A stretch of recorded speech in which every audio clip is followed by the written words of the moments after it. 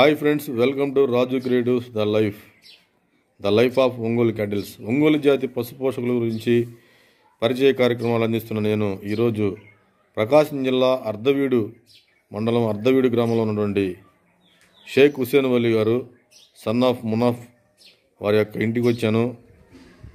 వారితో కొద్దిసేపు వారి అనుభవాలు ఈ ఒంగోలు జాతి పశుపోషణలోకి ఎందుకు వచ్చారు ఏంటనే విషయాలు వారి నుంచి తెలుసుకుందాము. ఎందుకంటే వారు ఆర్మీలో పనిచేశారు. ఆర్మీలో పనిచేసిన తర్వాత రిటైర్ అయ్యి ఈ మధ్య కాలం అంటే రెండు వేల పదిహేడు నుండి ఈ యొక్క పోటీల్లో పాల్గొంటున్నారు. సో ఆర్మీలో పనిచేసిన వీరు ఈ యొక్క ఒంగోలు జాతి పశుపోషణలోకి ఈ యొక్క ఎద్దుల బండలాగుడు పోటీలోకి రావడానికి కారణాలు ఇవన్నీ కూడా మనం వారిని అడిగి తెలుసుకుందాము. నమస్కారం అండి. హుసేన్ వలీ గారు చెప్పండి మీరు ఆర్మీలో ఎప్పుడు రిటైర్ అయ్యారు? ఆర్మీ నుంచి? రెండు వేల పదిహేడులో వచ్చాను. రెండు వేల పదిహేడులో ఆర్మీ నుంచి రిటైర్ అయ్యారు. రిటైర్ వచ్చాను రెండు వేల పదిహేడులో ఆర్మీలో అంటే మీరు అంతకుముందు ఆర్మీలో ఏ పోస్ట్ చేశారు? నేను ముందు ఏమో సిపాయి ఉన్నా తర్వాత హౌల్దార్ అయినా హౌల్దార్ తర్వాత జేసీ ర్యాంకులో వచ్చాను నేను. సిపాయిగా బోర్డర్లో పనిచేశారు. ఆ, బార్డర్లో పనిచేశాను. ఉమ్, పదహారు సంవత్సరాల దాకా అట్లా అక్కడనే ఉన్నాను బార్డర్లో ఉన్నా. ఉమ్, తర్వాత ఇక్కడికి వచ్చాను కిందికి. ఉమ్. ఉన్న తర్వాత నేను పదిహేడులో రెండు వేల పదిహేడులో రిటైర్మెంట్ అయ్యాను. మీ ఫ్యామిలీలో చాలా మంది మిలిటరీ నుంచి ఇండియన్ ఆర్మీ నుంచి ఉన్నారని తెలుసు తెలుసు నాకు. ఎవరెవరు చెప్తారా? చెప్తాను. మేము. ఐదు మంది అన్నదమ్ములు.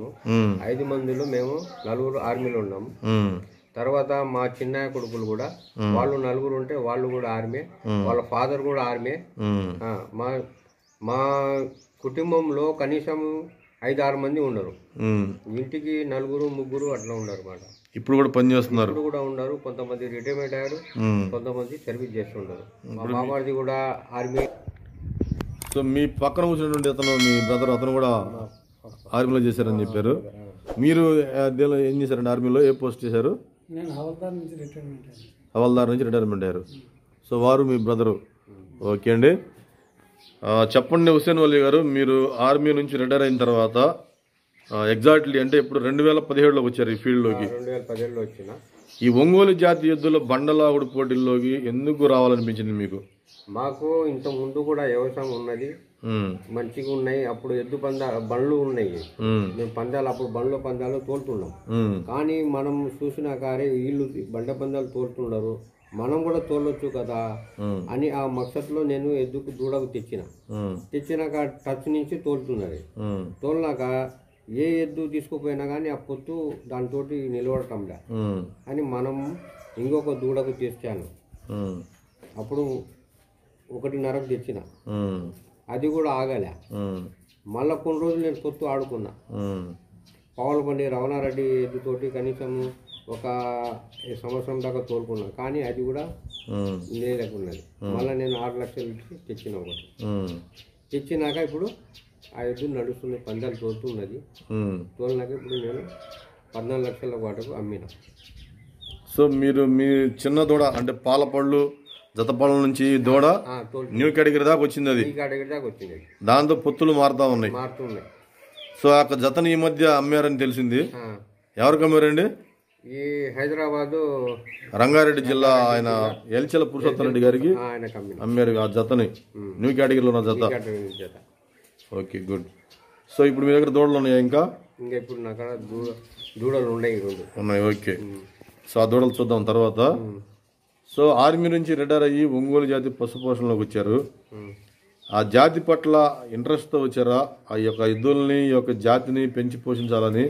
లేదంటే కాలక్షేపం అంటే రిటైర్ అయిపోయిందాం కదా ఏదన్నా మనం కాలక్షేపం చేద్దామని వచ్చారా? నేను వచ్చిన మంచిగా ఉందామని అను- అనుకున్నా. కానీ ఈ రూట్లో చూసినాక ఇల్లు నడుస్తుంటే నేను కూడా నడుద్దామని ఈ వ్యవసాయం కిందే చూసుకుంటా ఈ బండ్ల ఎద్దులకు మెప్పుంటే మనకు కూడా సంతోషం ఉంటుందని. మన ఫిజికల్ కూడా ఫిట్ ఉంటుందని నేను దీంట్లో దిగిన. ఓకే చాలా మంది రిటైర్ అయిన తర్వాత విశ్రాంతి జీవితం గడుపుతుంటారు. కొంతమంది వాళ్ళ క్యాపబిలిటీస్ మిలిటరీలో చేసిన తర్వాత కూడా వేరే సర్వీస్లో ఉంటూ ఉంటారు. సో మీరు వాటి జోలికి వెళ్ళకుండా ఈ యొక్క ఎద్దుల పోషణ వ్యవసాయము సో వీటిని చూస్తున్నారు చాలా మంచి విషయము. సో మొదటి నుంచి మీకు ఎద్దులు ఉన్నాయండి? మనకు మొదటి నుంచి ఉన్నాయి. మేము. చిన్నప్పటి నుంచి మన ఈ కేటగిరీ నీ కేటగిరీ ఎద్దులు అట్లాగే ఉన్నాయి మన కాడ. అప్పటి నుంచి మనకు వాటి మీద అంటే మనకు చాలా అభిమానం. అందుకని మేము కూడా ఈ రూట్లో చేసుకున్నాం. మీ తండ్రి గారి టైంలో ఆ ఎద్దులు అది పోటీలు అప్పుడు బండలావుడి పోటీలు ఉన్నాయా? అప్పుడు కూడా లాగొస్తున్నాం. కానీ బండ్లు లాగిస్తున్నాం. బండి పోటీలు. బండి పూట ఉమ్, గిరక బండి పోటీలు. ఆ, అవి లాగిస్తున్నాం.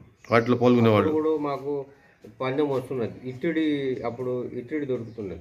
అదే షీల్డ్ లాంటి ఇచ్చేవాళ్ళు. అవి ఇస్తున్నారు. ఓకే అండి. ఇప్పుడు మీరు అంటే మీ నాన్నగారు చదువుకున్నారా?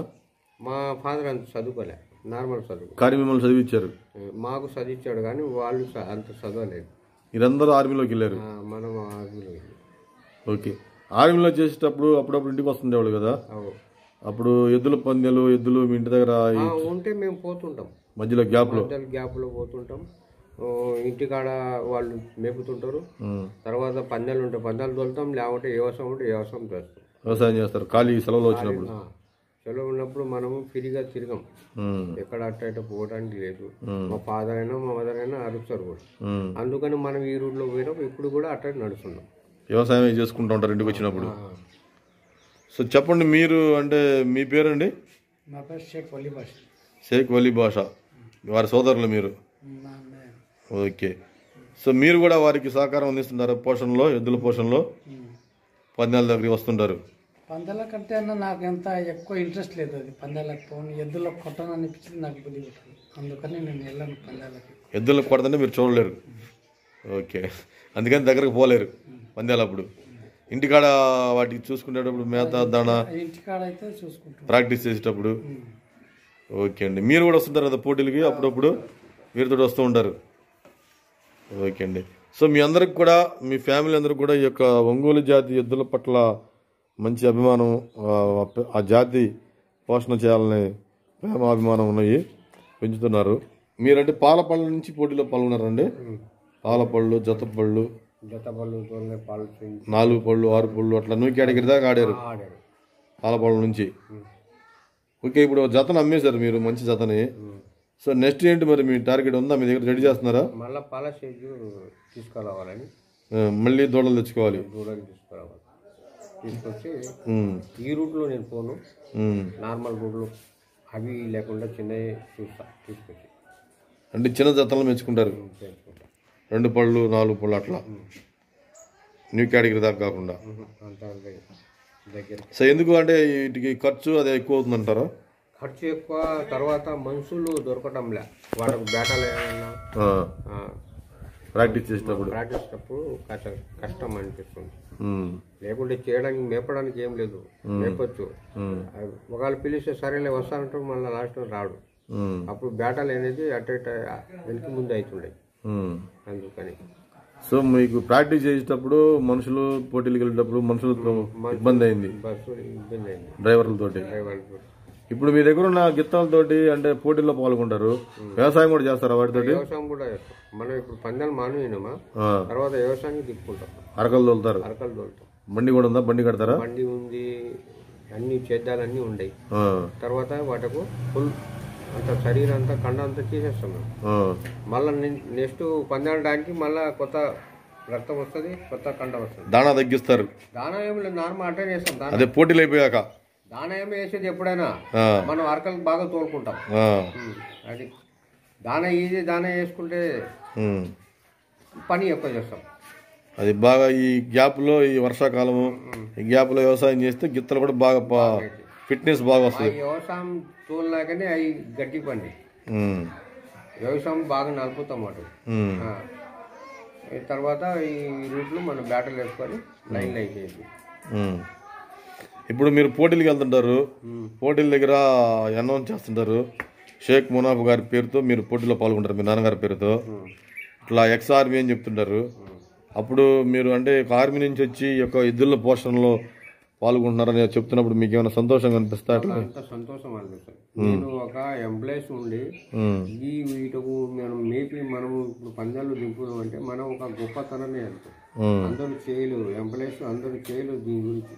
నేను ఒక రైతు కొడుకుని కాబట్టి నేను చిన్నప్పటి నుంచి నేను చూశాను దీనికి అనుభవించా.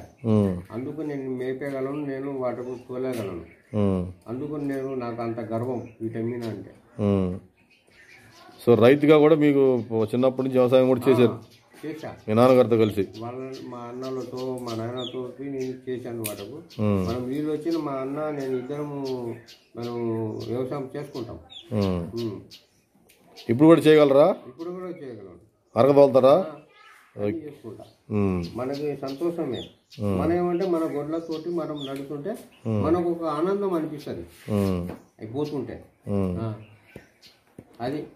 చేలు అరకదుంటుంటే ఎద్దులు బాగా ఉల్లాసం. అయినా మనం టైర్ వేసుకొని రోడ్డు మీద పోతున్నా కానీ ఎవరు అంటే ఫలానా అని. ఆ. అలాగే మనకు అంత అభిమానం వాటి మీద అందుకే మనం సాగు సాగుతున్నాం వాటి గర్వంగా సంతోషంగా అనిపిస్తుంది. ఓకే. ఈ యొక్క ఒంగోలు జాతి ఎద్దులు ఏవైతే ఉన్నాయో ఈ పోటీల్లో పాల్గొంటున్నారు వీటిని ఇలాగే పెంచి పోషిస్తారా? కంటిన్యూగా మీ అంటే మీ నెక్స్ట్ జనరేషన్ ఉన్నారు వాళ్ళు కూడా అందిస్తారా మీ పిల్లలకి? నేను వ్యవసాయం చేస్తా. మా అబ్బాయి వ్యవసాయం చేయలేడు. ఉమ్. ఈ ఫీల్డ్ దిగినోడు వ్యవసాయం అంత వాడిని నాలెడ్జ్ ఉంటే ఆ పని ఆ వాటకు మేపగలడు. వ్యవసాయం ఎవరైతే చేస్తారో వాళ్ళు ఎద్దుల్ని బాగా పెంచగలరు అంటారు పెంచగలడు. పోటీలకు కూడా. పోటీలు. ఒకవేళ ఎంప్లాయీస్ ఉన్నా కానీ అమౌంట్ పట్టి వాళ్ళకు మనుషులకు పెట్టుకొని ఆయన చేయగలడు. అది. ఒక అమౌంట్ సొంతంగా చేయలేడు. అనుభవం లేకుంటే చేయలేడు. మనుషుల్ని పెట్టుకొని చేసుకోవడం వల్ల కాకపోతే వాళ్ళు సరిగా వాటిని పోషణ చేయరు అంటారు ఆహా, లేదు. సొంతంగా చేసుకుంటే బాగుంటుంది అంటారు మనం సొంతంగా ఉంటే ఎంత డబ్బు ఉన్నా ఎంత ఇవి ఉన్నా. మనం సొంతంగా చేసుకుంటే అవి కాజా లెవెల్ ఉంటాయి. ఇది వాటికి ఏం కావాలి ఏ టైంకి చూసుకోవచ్చు. చూసుకోవాలా? మీ అబ్బాయి ఉన్నారు ఇతను నీ పేరు కదమ్మా ఏం పేరు? సమీర్ ఇట్రా ఇటు పక్క నుంచి మీ నాన్న పక్కన. నేను మాట అడుగుతా. ఇతను సమీర్ అండి. హుస్సేన్ వాళ్ళ వాళ్ళ అబ్బాయి. ఏం చదువుతున్నావు? డిగ్రీ. చదువుతున్నావు. పోటీలకు వచ్చినప్పుడు వస్తున్నావు నేను చూస్తున్నాను నిన్ను. సైడ్ సైడ్ తోలుతున్నావు. ఇప్పుడు మీ నాన్నగారు అంటే ఎద్దులు మీ నాన్నగారితో పాటు నువ్వు కూడా వస్తున్నావు. ఆ ఎద్దుల్ని మేపుతున్నావు. ఆయన తెలుసు నీకు కూడా వాటి గురించి కొంత అనుభవం వస్తూ ఉంది. ఇప్పుడు అంటే మీ నాన్నగారు మానేసి అంటే ఆయన చేయలేకపోయినప్పుడు వీటిని పెంచి పోషిస్తావా మానేస్తావా? ఓకే మీరు చదువుకుంటున్నారు జాబ్కి వెళ్తారు. ఆ ఖాళీ టైంలో వాటి పట్ల శ్రద్ధ ఏమైనా చూస్తారా? ఇంక వదిలేస్తారా మీ నాన్నతోటి? లేదు లేదు ఎద్దులతోటి నేను తిరిగాను కదా నాకు కొంచెం దీనిలో ఎద్దులు పోయినా ఇంట్రెస్ట్ వచ్చింది. ఉమ్. నేను కూడా ట్రై చేస్తా. ఇప్పుడు మీ నాన్నగారు చిన్నప్పుడు వ్యవసాయం చేశాడు. ఎందుకు చేశాడంటే మా నా వాళ్ళ తండ్రి అంటే మీ తాతగారు వ్యవసాయం చేస్తుంటే మీ నాన్నగారు కూడా వ్యవసాయం చేయడం నేర్చుకున్నాడు చదువుకున్నాడు ఆర్మీకి వెళ్ళాడు రిటైర్ అయ్యాడు మధ్యలో గ్యాప్లో వచ్చినప్పుడు మళ్ళీ వ్యవసాయం చేస్తున్నాడు ఎద్దులు తోలుతున్నాడు రకలు తోలుతున్నాడు. ఇప్పుడు తీరా రిటైర్ అయిన తర్వాత మళ్ళీ ఆ ఎద్దుల్ని పెంచి పేసిస్తున్నాడు పోటీలో అలాగే నువ్వు కూడా జాబ్కి వెళ్ళిన తర్వాత సెటిల్ అయిన తర్వాత వాటి పట్ల కేర్ తీసుకొని ఆ జాతి పట్ల ఏదన్నా కేర్ తీసుకుంటావా? తీసుకుంటా తీసుకుంటా. మా నాన్న పేరు మీద నేను అప్పుడు ఉంటే మా నాన్న పేరు అయినా నేను పెడతా అప్పుడు. మన తాత మీద అయితే పెట్టారు మా నాన్న కూడా నేను మా నాన్న పేరు కూడా నేను పెంచుతాను. ఓకే గుడ్ సిపాయిగా ఆర్మీ బో ఆర్మీలో బోర్డర్లో తుపాకీ పెట్టారు ఇంటికి వచ్చినప్పుడు అరకదోలత ఎద్దుల పగ్గాలు పట్టుకున్నారు. రిటైర్ అయిన తర్వాత ఆ ఎద్దుల పోటీలో పాల్గొంటున్నారు. ఈ మీరు ఎక్కడన్నా గెలుపొందినప్పుడు పోటీలో పాల్గొన్నప్పుడు మీతో పాటు ఆర్మీలో చేసిన వాళ్ళు ఎవరన్నా మీకు ఫోన్ చేసి ఇప్పుడు అడుగు ఏమన్నా మిమ్మల్ని అభినందించడం ఎలా జరిగినాయా? వాళ్ళు చాలా మంది అన్నారు ఫోన్లు చేసి. బులా మేము మొబైల్లో చూస్తున్నాం మీ బండ లాగే ఎద్దులు. మాకు చాలా గర్వమైంది. మన ఒక ఎంప్లాయీస్ మన ఒక ఫ్రెండ్ ఎవరు ఇలాగ పని చేసిన అంటే మనకు చాలా సంతోషం అని టైం కూడా చెప్పారు. చాలా మంది అన్నారు కూడా. నాకు కూడా అంత మన గుడ్లు అంటే నాకు చాలా అభిమానం. నాకు గర్వం పోతున్నా కానీ నాకు అంత సంతోషం అనిపిస్తుంది. నేను ఇన్ని డబ్బులు ఖర్చు చేసినా కానీ. నా ఎద్దులు రోడ్డు మీద పోతుంటే అందరూ చూస్తుంటారు. నాకు అంత సంతోషం వాటి ఓకే. సో ఫ్రెండ్స్ ఇది షేక్ మునాఫ్ గారు వారి యొక్క కుమారుడు షేక్ హుసేన్ వలి అలాగే వారి సోదరులు ఏం ఏం పేరు చెప్పారండి? వలీ బాషా గారు. సో వీరి ఫ్యామిలీ అంతా కూడా ఆల్మోస్ట్ మిలిటరీలో పనిచేశారు. వీరి సోదరులు అలాగే వీరి పిల్లలు కూడా కొంతమంది ఉన్నారు. వీళ్ళ అన్న పెద్ద అన్న కొడుకులు. అట్లా ఒక ఇండియన్ ఆర్మీ నుంచి వచ్చినటువంటి ఒక ఫ్యామిలీ ఒక ఇండియన్ ఆర్మీలో పనిచేసినటువంటి సిపాయిగా చేసినటువంటి తర్వాత ఏ మంచి పోస్టులో రిటైర్ అయ్యారు. ఎద్దుల్ని పోషిస్తున్నారు. ఒంగోలు జాతి ఎద్దుల్ని పెంచి పోషిస్తున్నారు.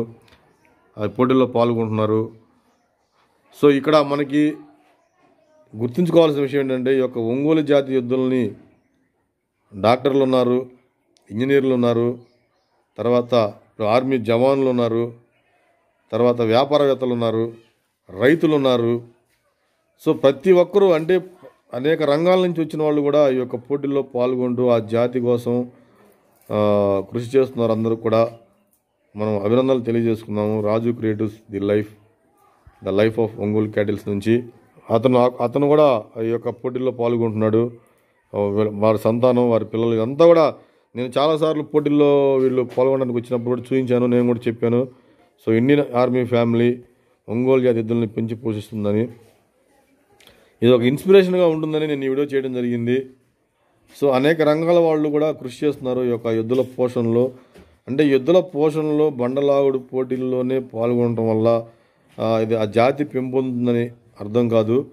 దానివల్ల కొంత ఇన్స్పిరేషన్గా రైతులు కూడా పెంచి పోషిస్తూ వారి దగ్గర పెంచుకున్న దూడలను వీళ్ళు కొంటూ ఆ యొక్క జాతి విస్తరణ జరుగుతుందని నా భావన. హుసేన్ అలీ గారు మీరు ఆర్మీ నుంచి వచ్చి ఈ యొక్క పోషణ చేస్తూ ఎలా వచ్చారు ఏంటి ఎప్పటిలో పాల్గొంటున్నారు నేను ఇంకా పెంచుతాను. చాలా సంతోషంగా గర్వంగా ఉంది యొక్క జాతిని పెంచి పోషిస్తున్న మన చిన్న చిన్న విషయాలు చెప్పారు మాకు. సో మీ యొక్క మంచి విషయాలు చెప్పారండి. Thank you very much thanks అండి మీకు.